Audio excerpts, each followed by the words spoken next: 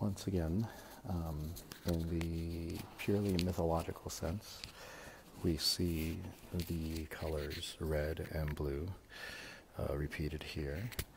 The red of Jesus, uh, his mother Mary in blue, and the cave out of which he was reborn. And in uh, mythology, the cave is symbolic of uh, that dimension, that inward space that we go into.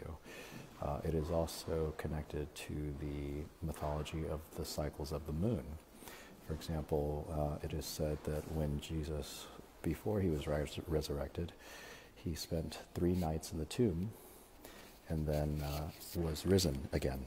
and every time that the moon is full, uh, the very next day it goes dark for three days straight.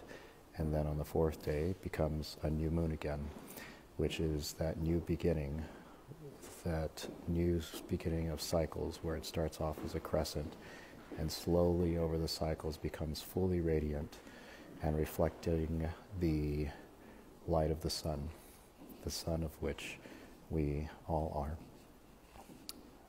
manifestations and reflections.